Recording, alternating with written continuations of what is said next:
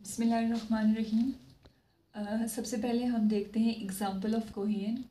हमने पिछली वीडियो में ये चीज़ डिस्कस की थी कि कोहियन क्या होता है। कोहियन बेसिकली अट्रैक्शन होती है बिटवीन द वाटर मॉलिक्यूल्स जो कि उसे सरफेस टेंशन का फिनोमिना देती है, यानी जिसकी वजह से सरफेस ऑफ़ लिक्विड रप्चर नहीं होती और स्मॉल ऑब्जेक्ट्स जो हैं वो उसके ऊपर फ्लोट करते हैं।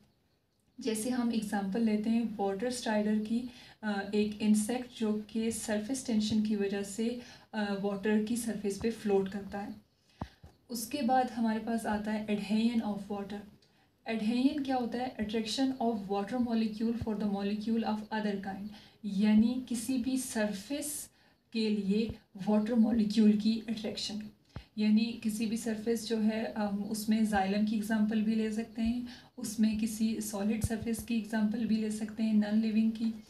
जो एडहेयन होता है, वो वाटर मॉलिक्यूल को अपवर्ड क्लाइम करने में हेल्प करता है। यानी हम उसकी एग्ज़ाम्पल लेते हैं through glass tube water molecules glass के मॉलिक्यूल्स की तरफ़ स्ट्रॉन्गली अट्रैक्ट होते हैं। क्योंकि जो वाटर मॉलिक्यूल्स जो ग्लास के जो मॉलिक्यूल होते हैं they have more polar nature than water molecules जिसकी वजह से वाटर जो है वो ट्यूब में अपवर्ड मूव करता है और इस एक्शन को कैपलरी एक्शन कहा जाता है। दूसरी एग्जांपल दी जाती है वाटर की upward movement in xylem tube यानी जो जाइलम ट्यूब के सेलुलर कंपोनेंट्स होते हैं या केमिकल कंपोनेंट्स जिससे जाइलम ट्यूब बनी होती है, उसके लिए वाटर की एफिनिटी बहुत ज़्यादा होती है। और ये जो अट्रैक्शन होती है, वो वाटर को अपवर्ड मूव करने में in xylem tube help out करती है। एक एस्टीमेट के अकॉर्डिंग जो है जाइलम में वाटर तकरीबन up to two hundred metre travel करता है एडहेन की प्रॉपर्टी की वजह से। नेक्स्ट जो प्रॉपर्टी है वाटर की, वो है हाई स्पेसिफिक हीट कैपेसिटी। यानी हीट की वो अमाउंट जो कि मिनिमम इंक्रीज़ इन टेम्परेचर के लिए ज़रूरी है। और जब आप वाटर की हीट कैपेसिटी की बात करते हैं तो वो number of calories required to raise the temperature of one gram of water up to one degree Celsius यानी एक डिग्री सेल्सियस वाटर के टेम्परेचर को राइज करने के लिए जितनी हीट की ज़रूरत होगी, वो स्पेसिफिक हीट कैपेसिटी है।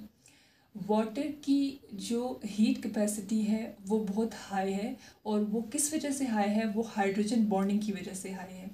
हीट कैपेसिटी हाई होने का मतलब ये है कि वाटर ज़्यादा हीट वाटर को रिक्वायर है to break the hydrogen bonds और हाइड्रोजन बॉन्ड की ब्रेकेज के बाद ही इसकी जो टेम्परेचर है वो राइज होता है।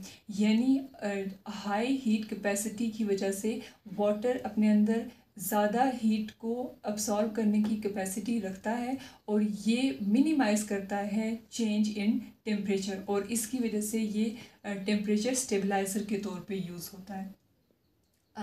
जो स्पेसिफिक हीट कैपेसिटी है वाटर की वो तकरीबन फाइव टाइम ग्रेटर होती है देन सेंड यानी जो सेंड हो लैंड है वो फास्टर जो है वो कूल होती है।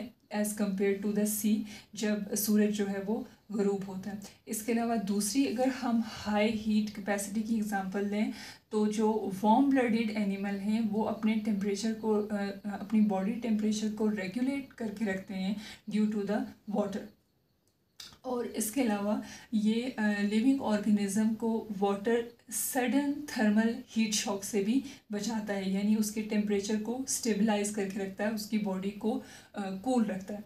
तो एक क्वेश्चन जो है वो हमारे माइंड में आता है कि why does water has such high heat capacity तो जो वाटर की इंटरमोलिकुलर बॉन्ड्स हैं, उसकी वजह से वाटर की जो हीट कैपेसिटी है वो हाई है और वो इंटरमोलिकुलर बॉन्ड्स कौन सी हैं? वो इसकी हाइड्रोजन बॉन्ड्स हैं। अगर हम इवन के मेटल की भी बात करें तो मेटल की जो इंटरमोलिकुलर बॉन्ड्स हैं, वो वीक हैं, जिसकी वजह से उनका टेम्परेचर जो है, वो जल्दी राइज़ हो जाता है।